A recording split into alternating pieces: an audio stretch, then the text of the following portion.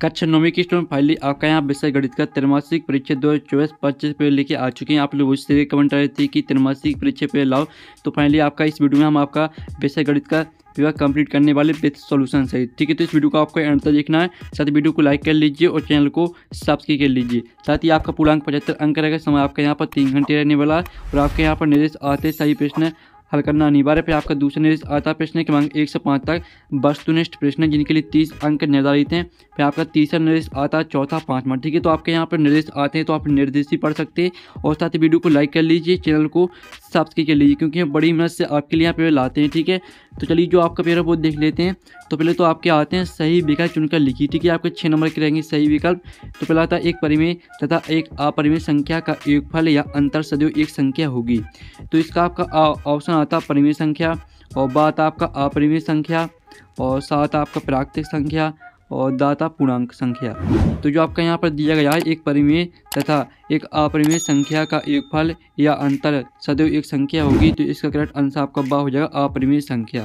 तो आपका यहाँ पर अच्छी तरह ध्यान से देखना, ठीक है? अब आपका यहाँ पर दूसरा सही विकल्प आता है बहुपद चार एक्स का दो, ठीक है? प्लस ज़ीरो एक्स का दो प्लस ज़ीरो एक्स का दो, प्लस पाँच एक्स प्लस सात की घात है। तो आपको यहाँ पर इस जो आपको बहुपद दिया गया, इस बहुपद की आपको अधिकतम घात बताना है। ठीक है, इसकी अधिकतम घात क्या है? तो आप यहाँ पर देख लीजिए जो इसमें अधिकतम घात है। ठीक है, चार एक्स की घात चार, यानी जो आपकी चार है, चार आपकी अधिकतम घात है। तो जो इसका आपका यहाँ पर राइट आंसर रहेगा, वो आपका आ हो जाएगा चार। ठीक है, फिर आपका यहाँ पर दूसरा आता है, जिसमें आप यहाँ पर देख लीजिए थोड़ी तीसरा सही विकल्प आता है। ठीक है तो स्टूडेंट आप यहाँ पर देख लीजिए, आपका तीसरा सही विकल्प आता बिंदु दो माइनस एक किस चतुर्थांश में स्थित होगा। तो इसका आपका ए आता है ठीक है आता प्रथम चतुर्थांश और ब आता आपका द्वितीय चतुर्थांश और सात आपका यहाँ पर तृतीय चतुर्थांश और द आता चतुर्थ चतुर्थांश। तो जो आपका इसका राइट आंसर रहेगा वो आपका द हो जाएगा चतुर्थ चतुर्थांश, ठीक है? जो आपका बिंदु दिया गया दो माइनस एक, ये आपका चतुर्थ चतुर्थांश में स्थित होगा।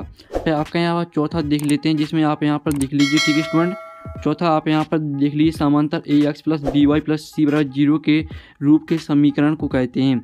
तो जो आपका यहाँ पर जो इस तरह का समीकरण रहता है A X plus B Y plus C बराबर ज़ीरो, ठीक है? इस तरह का जो समीकरण रहता है, आपको बताना है, वह कौन सा समीकरण कहलाता है?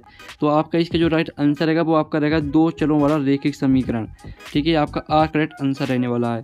फिर आपका पाँचवा आता है तो स्टूडेंट पाँचवा आप यहाँ पर दिल्ली चार बटे पाँच और एक बटे पाँच का योग होगा। तो आपको चार बटे पाँच और एक बटे पाँच का योग निकालना क्या रहेगा, ठीक है? तो सिंपली से आपको क्या करना है, चार बटे पाँच आपको यहाँ पर लिखना है और प्लस एक बटे पाँच, ठीक है? तो इसका आप यहाँ पर देख लीजिए, जो इसका आंसर क्या रहने वाला है? तो आप यहाँ पर देख लीजिए, पाँच बटे पाँच आ जाएगा तो इसका आंसर आपका एक रहेगा, ठीक है? इसका आंसर आपका रहेगा एक, यानी द करेक्ट आंसर रहने वाला आपका इसका, ठीक है? फिर आपका यहाँ पर देख लेते हैं, जो आपका यहाँ पर दिया सात सौ उनतीस की घात एक बटे तीन का मान है। तो आपका इसका, आपका यहाँ पर ऑप्शन आता है चार, और बात आपका नौ, सात आपका छः, और दाता सात। तो सात सौ उनतीस की घात एक बटे तीन का मान रहेगा आपका, ठीक है, नौ। नौ आपका राइट आंसर रहने वाला है। तो इस तरह से आपके जो यहाँ पर सही विकल्प वो कंप्लीट हो जाते हैं। आप प्रश्न दो आता है आपका यहाँ पर, रिक्त स्थानों की पूर्ति की, जो कि आपके छः नंबर के रहेंगे। तो पहला आता है रेखी बहुपद में चर की अधिकतम घात दोनों होती है। तो यहाँ पर रेखी बहुपद में चर की अधिकतम घात एक होती है। ठीक है तो एक आपका रहेगा पहले रिक्त स्थान का आंसर। फिर आपका जो दूसरा दिया गया बहुपद है, पाँच एक्स प्लस दो बराबर, ठीक है, आप यहाँ पर देख लीजिए, पाँच एक्स प्लस दो का शून्य डॉट डॉट है। तो पाँच एक्स प्लस दो का आपको शून्य के निकालना है तो इसका आंसर आपका देख लीजिए, पाँच एक्स प्लस दो बराबर ज़ीरो, ठीक है तो शून्य के निकालने के लिए आपको क्या करना है, सिंपली से आप यहाँ पर देख लीजिए, पाँच एक्स बराबर माइनस दो। आपका दो उस साइड जाएगा तो माइनस में हो जाएगा। फिर आप यहाँ पर देख लीजिए, फिर इसका आंसर आपका क्या रहेगा? इसका आंसर रहेगा एक्स से बराबर माइनस दो बटी में पाँच। ठीक है तो जो आपका शून्य का रहेगा, वो माइनस दो बटी में पाँच रहेगा आंसर ठीक है आपका दूसरे रिक्त का आंसर हो जाता है। फिर तीसरा आता है बहुपद एक्स की घात तीन माइनस एक्स की घात दो प्लस एक में एक्स ठीक है एक्स की घात दो का गुणांक है। तो आपको एक्स की का दो का गुणांक बताना जो आपका बहुपद दिया गया। है तो आप यहाँ पर देख लीजिए, जिसमें एक्स की का दो का जो गुणांक रहेगा वो माइनस एक रहेगा। ठीक है? और फिर आप यहाँ पर देख लीजिए, फिर आपका आता है चौथा भाज्य बराबर भाजक गुणे भागफल प्लस शेषफल। शेषफल आपका यहाँ पर रहने वाला है। चौथे रिक्त स्थान का आंसर शेषफल। ठीक है? फिर आपका यहाँ पर आता है पाँचवा। मूल बिंदु के निर्देशांक दो होते हैं। तो आप सभी को पता होगा, मूल बिंदु के जो निर्देशांक है वो ज़ीरो ज़ीरो होते हैं। ठीक है? आप सभी को पता ही होगा। साथ ही आपका यहाँ पर छः माह आता है। पाँच माइनस तीन, ठीक है, तीन माइनस, ठीक है, आप यहाँ पर देख लीजिए, पाँच माइनस तीन माइनस कोष्टक माइनस दो कोष्टक बंद प्लस दो माइनस दो बराबर। इसको आपको हल करना है। तो जो इसका आपका राइट आंसर निकल के आएगा, वो आपका चार निकल के आएगा, ठीक है? आप हल करेंगे तो इसका आंसर आपका चार रहेगा। तो छः में रिक्त स्थान का आंसर आपका चार रहने वाला है। अब चलिए आपका यहाँ पर देख लेते हैं। प्रश्न तीन आता सही जोड़ी बनाइए, जो कि आपके यहाँ पर छः नंबर की रहेंगे। स्तंभ अवबा में दी गई सही जोड़ी आपकी, ठीक है? स्तंभ अवबा में आपकी सही जोड़ी दी गई है। तो जो पहली आपकी आती है माइनस ज़ीरो दशमलव आठ पाँच प्लस एक दशमलव दो पाँच है। तो इसको आपको ज़ीरो दशमलव चालीस से मैच करना है।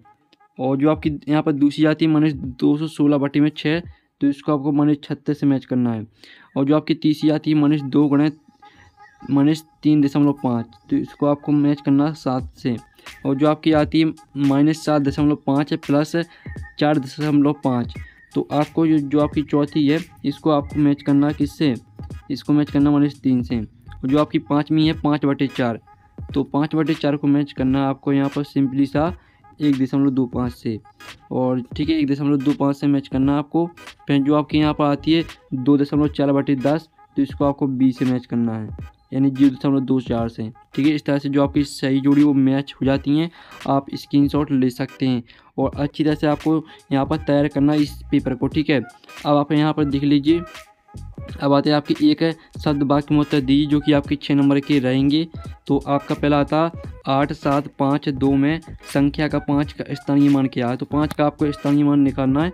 तो आप यहाँ पर देख लीजिए पाँच आपका, आपको इस साइड से देखना है, पाँच कौन से नंबर पे है? तो आपका इस साइड से जो पाँच है, वो दूसरे नंबर पर है और पाँच के बाद आपका कितना अंक है? पाँच के बाद आपका जो दो है, यानी पाँच के बाद आपका एक ही अंक है। तो सिंपली सा पाँच का स्थानीय मान आपका पचास हो जाएगा। ठीक है? जैसे जिस भी संख्या का स्थानीय मान निकालना होता है तो सिंपली सा उस संख्या के आपको यहाँ पर, ठीक है, आगे दिखना है कितनी संख्या है। तो उतनी ज़ीरो आपको ऐड कर देना है तो पाँच का स्थानीय मान पचास रहेगा। और साथ ही आप यहाँ पर देख लीजिए, रेखे का बहुपद की घात क्या होती है तो इसका आंसर आपका एक हो जाएगा। ठीक है रेखिक बहुपद की घात एक होती है। फिर आपका जो तीसरा आता है, एक सौ एक की घात तीन का मान। तो एक सौ एक की घात तीन का मान होता है दस।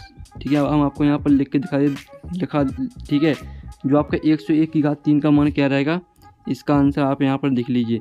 इसका आंसर रहेगा दस, तीस, ठीक है, तीन सौ एक। इस तरह से आपका रहने वाला दस, तीस तीन सौ एक, ये आपका एक सौ एक की घात का मान हो जाएगा। और फिर जो आपका यहाँ पर दिया गया चौथा ज़ीरो व एक के बीच एक परिमेय संख्या लिखिए तो आपका ज़ीरो और एक के बीच जो आपकी परिमेय संख्या रहेगी, वो एक बटे दो हो जाएगी, एक बटे दो। ठीक है आपका रहने वाला चौथे का आंसर। है जो आपको पाँच मत दिया गया है, सात बटे आठ का दशमलव प्रसार किस प्रकार का है? तो यहाँ पर सात बटे आठ का जो दशमलव प्रसार है, वो आपका शांत, ठीक है, शांत प्रकार का है। तो शांत आपका रहने वाला है पाँचवीं का आंसर। फिर जो आपका छः आता है ऐसा बहुपद है, जिसमें केवल एक पद होता है क्या कहलाता है? तो इसका आंसर आपका रहेगा, एक पदीय। ठीक है, एक पदीय कहलाता है। एक पदीय। ठीक है, ऐसा बहुत बहुपद जिसमें केवल एक पद होता है एक पदीय कहलाता है। अब चलिए आपके यहाँ प्रश्न पाँच आता, सत, असत का चयन करके लिखिए। तो पहला आता रेखिक बहुपद घात एक होती है तो पहला सत्य रहेगा। दूसरा आता है, एक घन में कुल आठ शीर्ष होते हैं तो ए भी सत्य रहने वाला है। फिर तीसरा आता प्रत्येक पूर्ण संख्या, एक परिमेय संख्या होती है तो ए भी आपका सत्य रहेगा। और जो आपका चौथा आता प्रत्येक परिमेय संख्या, एक पूर्ण संख्या होती है तो ये आपका असत्य हो जाएगा। जो पाँच माता शंकु, एक गोलाकार ठोस आकृति होती है तो ये भी आपका असत्य रहेगा। और जो छः माता, दो चरों वाले रेखिक समीकरण के आप परिमित रूप से अनेक हल होते हैं तो ये आपका सत्य रहने वाला है। तो इस तरह से आपके सत्य सत्य भी कंप्लीट हो जाते हैं। फिर स्टूडेंट, आप यहाँ पर देख लीजिए, आपके जो ऑब्जेक्ट है वो कंप्लीट हो जाते हैं। आप प्रश्न छः आता जाँच कीजिए कि माइनस दो और दो बहुपद एक्स प्लस दो के शून्य हैं या नहीं, ये आपको बताना है, ठीक है? फिर इसका अथवा आता है, बहुपद पाँच एक्स की घात पाँच माइनस एक्स की घात चार प्लस तीन तथा दो माइनस एक्स की घात दो माइनस, ठीक है? एक्स की घात दो माइनस वाई की घात तीन प्लस दो वाई की घात आठ की घात ज्ञात कीजिए, घात लिखिए, ठीक है? और साथ ही इनके आप यहाँ पर इन क्वेश्चन को पूरा आपको तैयार करना, सरल कीजिए। और ऐसी दो संख्याएँ लिखी जिनके दशमलव प्रसार अनवसानी एवं आवर्ती हों। फिर आपका प्रश्न आठ, आधा परिमीकरण कीजिए। आठवां में भी आपको परिमीकरण करना है। फिर आपका प्रश्न नौ आता भाग दीजिए और आपको जोड़िए अथवा का। ठीक है, फिर आपका दसवां देख लीजिए। एक दुकान में पैंट की कीमत सात सौ चौवन रुपये शर्ट की कीमत पाँच सौ साठ रुपये तो बताइए पैंट और शर्ट की कुल कितनी कीमत होगी? ठीक है तो आपको सिंपली सा कुछ नहीं कर देना, आपको दोनों को जोड़ देना है। तो आपका आंसर निकल के आ जाएगा। अथवा देख लीजिए, ठीक है अथवा देखने के बाद आपका प्रश्न ग्यारह आता है, बिंदु दो माइनस एक है और मनीष चार और तीन, किस चतुर्थांश में स्थित है आपको बताना है। अथवा तो संख्या एक, दो, तीन, चार को प्रसारित रूप में लिखना है आपको। फिर आपका बरमाता एक दुकान में शर्ट की कीमत चार सौ, पैंट की कीमत छः सौ पचास रुपये तो बताएँ पैंट और शर्ट की कुल कितनी कीमत होगी, इसका अथवा देख लीजिए। और फिर आपका तेरहवा प्रश्न आता है, ठीक है, पैंतीस प्रतिशत भिन्न के रूप में आपको लिखना है। तीन बटे चार को प्रतिशत में बदलिए चौदह प्रश्न देख लीजिए। ठीक है पंद्रह प्रश्न देख लीजिए और आपका सोलह माता चांदी की सहायता से तीस डिग्री एवं साठ डिग्री कोणों की रचना कीजिए अथवा अपने आसपास स्थित कोई चार चतुर्भुजाकार वस्तुओं के नाम लिखिए। फिर आपका एक सत्र माता यदि एक पंक्ति में पाँच पेड़ हैं तो बताएँ 120 पंक्तियों में कितने पेड़ होंगे? तो आपको कुछ नहीं करना, पाँच का गुणा, ठीक है, पाँच का गुणा आपको 120 में कर देना तो आंसर निकल के आ जाएगा। और कोई चार वृत्ताकार वस्तुओं के उदाहरण दीजिए फिर आपका अठारह प्रश्न आता है सरल कीजिए सरल कीजिए उन्नीसवा आता है संख्या ज्ञात कीजिए, आपको तीन परिमेय संख्या निकलना है छः परिमेय संख्या निकलना है। बीसवा प्रश्न देख लीजिए, ठीक है? और इक्कीसवा प्रश्न, बाईसवा, तेईसवा। और जो इनके आंसर है, वो आपको टेलीग्राम ग्रुप में मिल जाएँगे। और पीडीएफ डाउनलोड करना चाहते हैं तो लिंक आपको वीडियो के डिस्क्रिप्शन में दी गई है तो वहाँ से आप पीडीएफ डाउनलोड कर सकते हैं। तो हम यहाँ पर नेक्स्ट वीडियो में थैंक्स फॉर वॉचिंग